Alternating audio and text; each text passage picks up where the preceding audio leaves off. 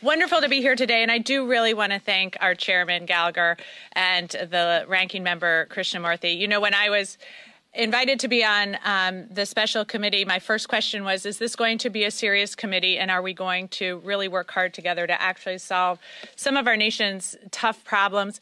And I can tell you that I think this today is an example of just how we're all working to do that.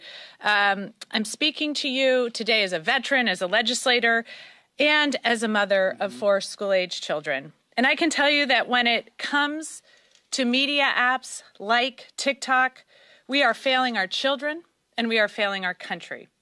It's critical that Congress take action to address the national security threat posed by TikTok. I've heard far too many times that it's too popular or it's too big to tackle.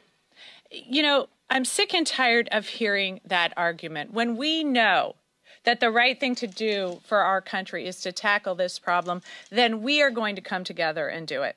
Why in the hell would we allow a foreign adversary like the Chinese Communist Party, a regime actively committing genocide against its own people, a regime with views antithetical to our democratic values, to control a technology platform and key source of information that reaches half of the United States population? We know that the CCP requires all domestic companies, including ByteDance, to share data with Beijing and assist its national security services upon request under its 2017 intelligence law. That means Americans' data is always at risk, always at risk of seizure by the CCP, and the content our kids view can be manipulated by CCP decree. We know that TikTok has continually censored anti regime content, such as references to Tibet or Tiananmen Square. In New Jersey, TikTok has banned users who've spoken out about China's forced labor and horrific genocide of the Uyghur people. It's unacceptable. And that's exactly why we need to divest.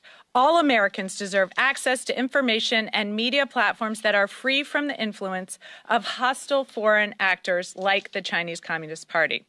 I hope the Energy and Commerce Committee will move quickly and the Speaker will bring this bill up for a vote to protect our democracy, our national security, and most importantly, our children. Thank you.